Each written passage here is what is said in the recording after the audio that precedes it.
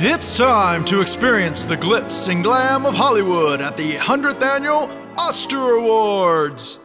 This year, this uber exclusive awards banquet will be held in the historical Beverly Hills mansion of the legendary icon Mary Monroe.